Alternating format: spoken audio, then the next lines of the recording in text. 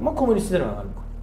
با این عملکرد مداخله گرایانه هیچ سرمایه‌گذاری درست نخواهد عمیقا قواعد در کشور ما با وجود این همه مداخله ضد فقراست. عجب.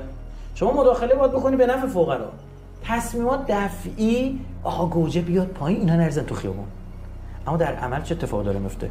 مالیات تورمی که ما داریم می‌گیریم چقدره؟ مالیات تورمی یعنی چه؟ ببخشید برای شما حتما واضحه. من برای مخاطب سختم است ما نمی‌دونیم مخاطب مخاطب تخصصی داره نگاه می‌کنه یا شاید اون مردم دارن آره اون مردم می‌بینه ولی طبیعتا متخصصین هم می‌بینن. آره من جسارت ولی خب به نظرم یه جوری باشه که همه فهم باشه که یعنی من 10 میلیون تومان حقوق گرفتم. دو میلیونش مثلا مالیات دادم. فیش حقوقی مالیاتم کم کردم. به فرض الان حقوقای نمی‌دونم چند تومن به بالا مشمول مالیات اینا رو می‌دونم. عدد روند دارم میگم ساده باشه اما این نیست که اینا دو میلیون از من حقوقی مالیات. بگیرن.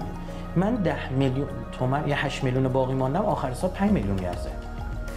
یعنی اینا 5 میلیون از من وام گرفت مالیات گرفتن. 3 میلیون دیگه مالیاتی که بر مالیات تورمی است. یعنی با تورم کار چه جوری؟ با خلق پول. کسر بودجهش رو جبران کرده دولت اومد این اتفاق رقم داد ما تو کشور ما بیان قبولی دانشگاه چه اتفاقی افتاده؟